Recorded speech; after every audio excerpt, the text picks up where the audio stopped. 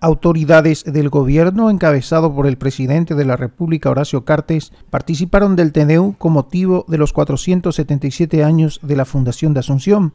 El oficio religioso estuvo presidido por el arzobispo de Asunción, Monseñor Pastor Cuquejo, el intendente capitalino Arnaldo Samaniego, quien también participó de la misa, aseguró que en cuatro años de gestión al frente de la municipalidad aún queda mucho por hacer. Tenemos la satisfacción de haber hecho mucho, pero a veces hasta frustración de, que tantas cosas siguen faltando. En otro momento aseguró que la promulgación de la ley de capitalidad permitirá la realización de grandes obras de infraestructura para paliar la necesidad de los asuncenos. Todo va a ir destinado a obra de infraestructura, vamos a seguir asfaltando, vamos a hacer el mejoramiento de los cauces hídricos a través de instalaciones de muros, de contención, limpieza, entre otros, y eh, trabajo de desagüe pluvial.